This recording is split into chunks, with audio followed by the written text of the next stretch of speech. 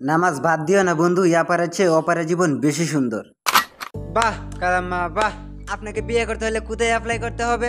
হ্যাঁ আমারে বিয়ে করতে হলে কই অ্যাপ্লাই করতে হবে কোথায় অ্যাপ্লাই করতে হবে সেটা বলেন। টিকটকের সকল দর্শক আপনাকে বিয়ে করতে চায়। ও এই কথা। টিকটকের সকল দর্শক কি আপনাকে আপনার বিয়ের জন্য অ্যাপ্লাই করতে পারবে?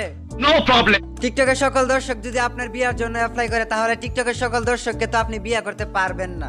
বুঝো না এই ব্যাপার। টিকটকে আপনার দুই লাখ ফলোয়ার আছে দুই লাখের মধ্যে এক লাখ মানুষের যদি অ্যাপ্লাই করে তাহলে আপনি কাকে বিয়ে করবেন? যার টাকা বেশি তাকে নাকি?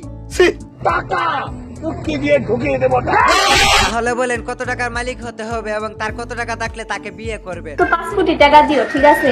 আমি এমনি তোমার ঘরের বউ হয়ে যাব। আর আপনি আবার কোন তো আবার কোন পাঁচ কোটি টাকা দিও ঠিক আছে? আমি এমনি তোমার ঘরের বউ হয়ে যাব। ছেলে তোর গোলাপ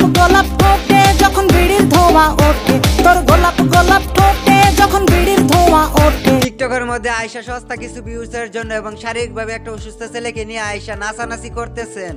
লজ্জা লাগা দরকার আবার আয়সা বলতেছেন আমাকে বিয়ে করতে হলে পাঁচ কোটি টাকা লাগবে। এটা আপনি কি কর আপনার মতো মেয়েকে বিয়ে করতে হলে যদি পাঁচ কোটি টাকা লাগে তাহলে এই যুগের পোলাপনগুলি ওই যে ওইখানে ইট লটকায় লটকায় ঘুরতে হবে। আপনি আবার কোন তো আবার কোন ওই যে ওইখানে ইট লটকায় লটকায় ঘুরতে হবে। এই হকাস না কেন? ও। কথাগুলো হয়তো বা মনে হয় একটু গভীরই বলে ফেলছি। বুঝছি এর পর কি টিকটকাররা তো শুধু জানে আলতু ভিডিও মানে টিকটক প্ল্যাটফর্মটাকে নোংরা বানাতে।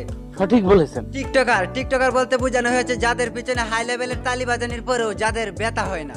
একের পর এক বন্ডামি আর কিছু কিছু টিকটকারদের পাগলামি। চাই না আমি টাকা পয়সা চাই না বাড়ি গাড়ি?